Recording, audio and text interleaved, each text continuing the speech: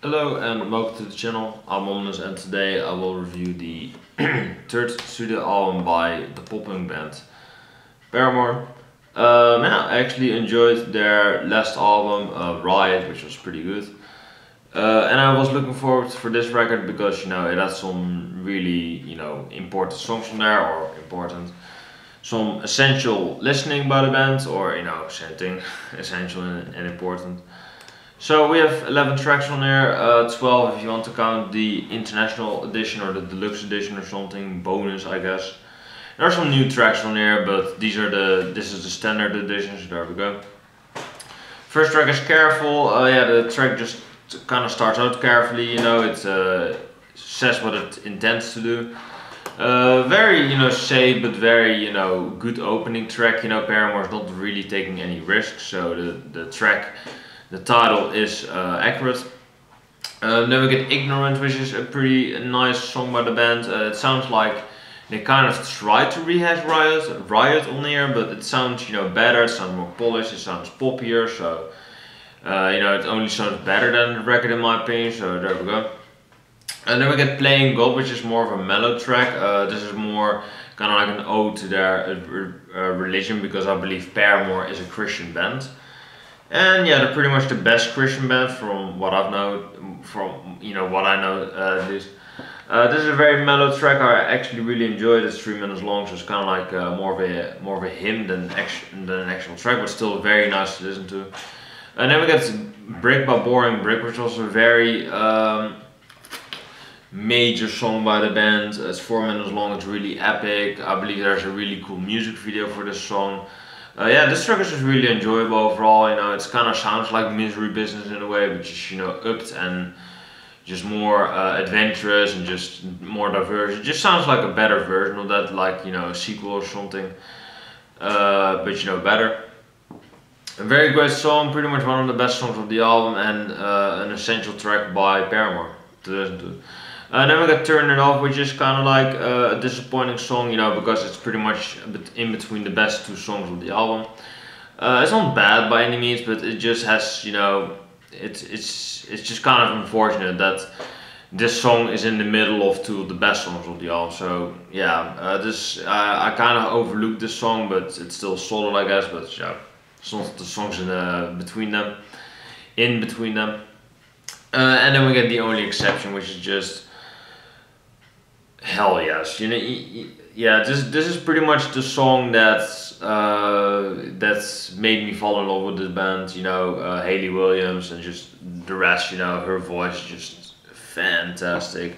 Whoever plays the acoustic guitar on the song, you know, it's very simple, but it just works, mate. Um, this is a beautiful song. Um, it's four and a half minutes long, so it's perfect length too. Um, Wow, it's actually it's actually the longest song of the album. You know, for a acoustic poppy track, you don't expect it to be the longest track, but it actually is. So, yeah, it's for easily my favorite song on the album. Uh, it's the best Paramore song I've ever heard in my life. It's just fantastic, man. It's just great. It's soft rock, folk rock. Uh, the emotion on this track, the guitars, Hayley Williams' voice on this track is just amazing. Uh, the first time when I heard it, I completely fell in love with the song the first time, and uh, you know, it still sounds amazing. So great, man! E easily the best thing I've ever heard by this band, easily. Never get Feeling Sorry, and this is a very disappointing follow-up song. It's three minutes long, and you know, yeah, I, I kind of feel sorry, you know, for, to you to follow up the only exception because, you know, uh, where do you go? Uh, you know, buy that song. Fucking hell. Where, where do you go uh, when you made that song, you know? And this is pretty much the weakest song of the album too. It's just kind of forgettable. It's just kind of bland, honestly.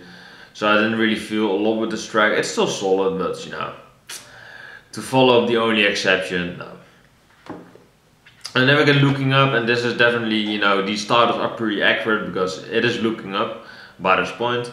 Uh, yeah, it is just getting better uh, eventually.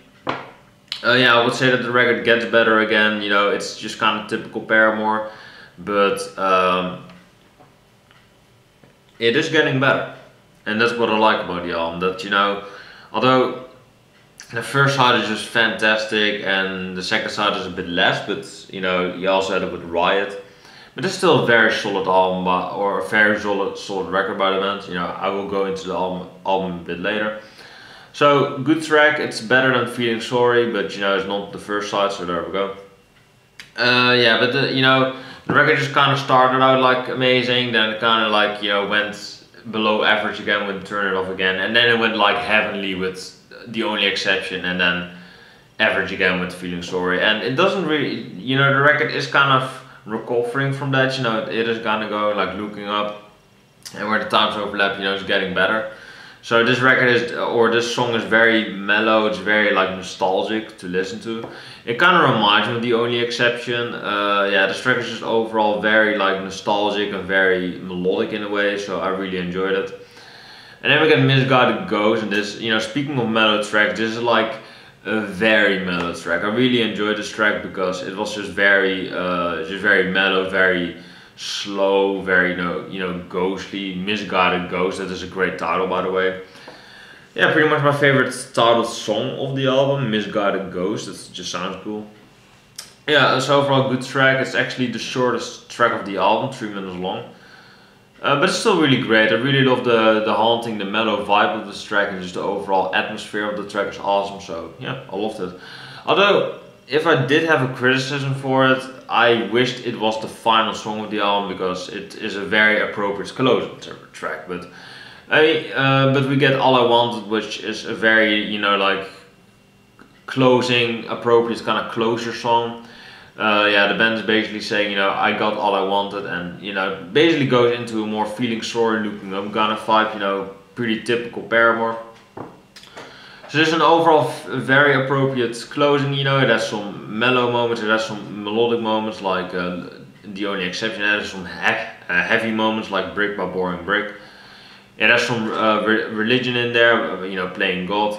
So it is a little bit of everything. So this track, you know, just uh, summarize the sum, is summarizing the album pretty accurately, and is an overall very fitting closing track. Although I did prefer Misguided Ghost as a closing track, but what you know, whatever. You know, it doesn't matter. Still, still a good closing track, so I'm, I'm not complaining. Overall, this album is better than um, than Riot because it is more melodic. It has you know more good songs on it. It's a bit more consistent, I think. Uh, it's more diverse. I didn't say that, say that already.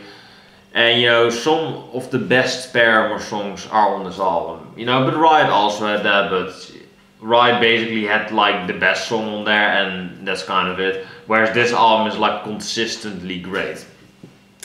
So this is better. Um, I still think that the second side is a bit weak-ish. It's not, you know, it's still good though, it's still very good, but it's just not the first side. The first side is near flawless in a way, and the second side is, you know, it's still good, but it's not the first side. So I'm gonna give this an eight and a half. Uh, I'm, you know, very positive with Paramore. Uh, you know, I said that I like Paramore, and you know, I've given them two eight so far.